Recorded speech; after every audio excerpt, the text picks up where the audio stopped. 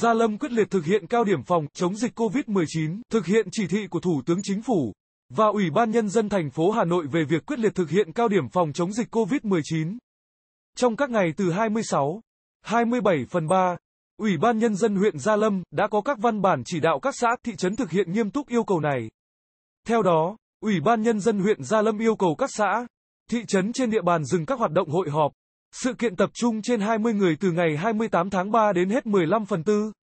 Không tụ tập từ 10 người trở lên ngoài phạm vi công sở, trường học, bệnh viện, rừng triệt. Để các nghi lễ tôn giáo, tín ngưỡng, hoạt động văn hóa thể thao giải trí tại các nơi công cộng, tạm đình chỉ các hoạt động kinh doanh dịch vụ trên địa bàn.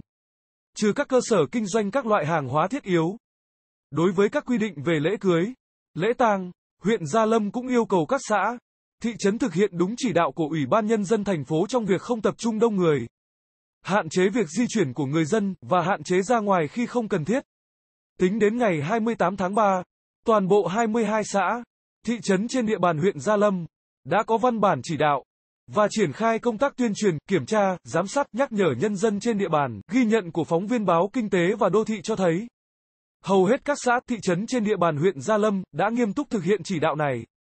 Theo Phó Chủ tịch Ủy ban Nhân dân huyện Gia Lâm Trương Văn Học, qua công tác kiểm tra, Giám sát huyện Gia Lâm đánh giá các xã, thị trấn đã thực hiện khá nghiêm túc yêu cầu để ra. Tuy nhiên, tại một số xã, thị trấn vẫn còn tình trạng có cửa hàng mặc, dù không bán các loại hàng hóa thiết yếu, nhưng vẫn mở cửa kinh doanh, việc này sẽ được tiếp tục nhắc nhở thực hiện triệt để.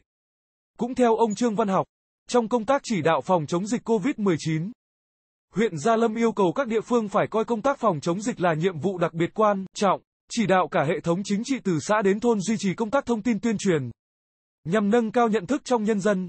Bên cạnh đó, tổ chức giám sát chặt chẽ tại cộng đồng tình trạng sức khỏe những người đến từ vùng dịch, những trường hợp nghi nhiễm COVID-19 trên địa bàn, hướng dẫn người dân tự cách ly theo dõi sức khỏe.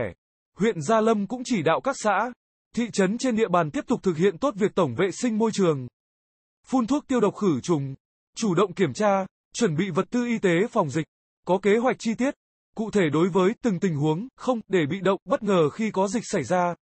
Dưới đây là hình ảnh tại một số xã, thị trấn trên địa bàn huyện Gia Lâm.